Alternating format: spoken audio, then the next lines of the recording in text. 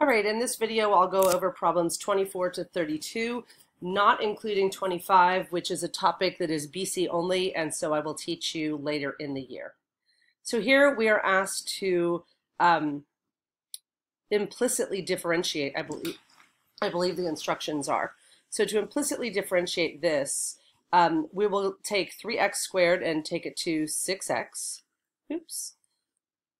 6x, and then the product rule will do on negative 2xy to get negative 2x dy dx minus 2y plus 10y dy dx. And then 1, of course, differentiates to 0. So then I'll pull out everything with a dy dx in it and combine those into one paren. And then I will add 2y and subtract 6x from both sides.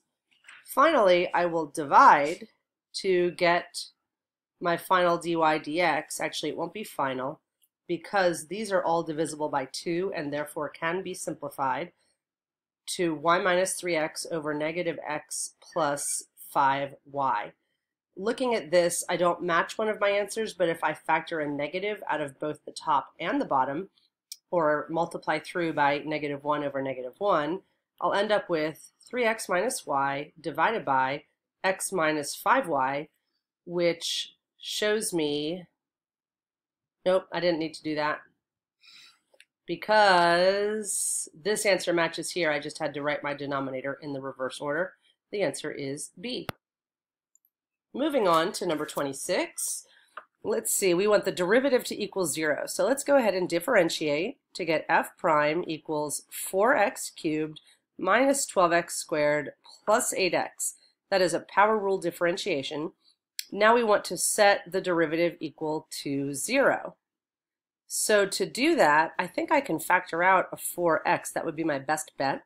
So I'd be left with an x squared minus 3x plus 2. And look at that. That appears to be factorable into x minus 2, x minus 1.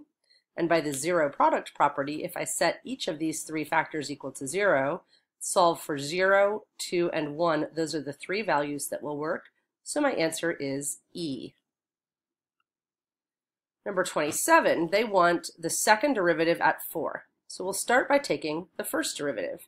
We need to bring down the 1 half and then drop a degree to the negative 1 half. So to simplify this, we get 8x to the negative 1 half. Now let's take the second derivative. Second derivative, I bring down the negative 1 half, and then I drop a degree to the negative 3 halves, which gets me negative 4 divided by x to the 3 halves. Now I want to sub in my value of 4 into this second derivative. So 4 to the 3 halves, I think it's easiest to first square root 4 to get 2 and then cube 2. So I have negative 4 over 8, which is negative 1 half, and E will be my answer. Number 28, they also want the second derivative here. So we will start by differentiating. Don't forget the chain rule because the ln goes to 1 over the inside function, which is x cubed, times the derivative of x cubed, which is 3x squared. So when I simplify, I end up with 3 over x. To get my second derivative, I take the derivative of 3 over x. And actually, if you guys are okay, I'll rewrite this as 3x to the negative 1 to make life easier when I differentiate with the power rule. So 3x to the negative 1 becomes negative 3x to the negative 2 on the second derivative. So the second derivative I can now evaluate at 3 to get negative 3 times 3 to the negative 2, which is negative 3 over 9 or negative 1 third. And my answer is A. For 29, they want the second derivative. So this is implicit differentiation. I differentiate 2x, excuse me, x squared goes to 2x, y squared goes to 2y dy dx, and then 25 goes to 0. So I can solve this for dy dx by first subtracting 2x from both sides, then dividing by 2y. So this derivative, dy dx, is negative x over y. So to get my second derivative, I actually need to use the quotient rule. So I have low times d high minus high, d low, and then square the bottom. So now, if you notice, I have a negative times a negative, which will be a positive. So I have negative y plus x dy dx all over y squared.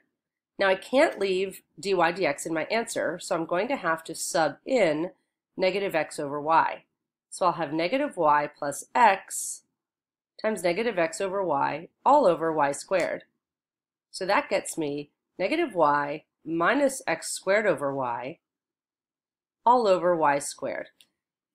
To simplify this, I will multiply the first term here by y over y to get a common denominator in my numerator, and then I will have negative y squared minus x squared over y all over y squared, which is negative y squared minus x squared over y cubed. Finally, I can plug in the point 0, 05, and I'll have to do that up here. If I have the second derivative such that we're at the point 0, 05, I will get negative y squared, so negative 25, minus negative x squared, or minus x squared, which is 0, over y cubed, and y cubed is 125. This simplifies to negative 1 fifth, and D is my answer.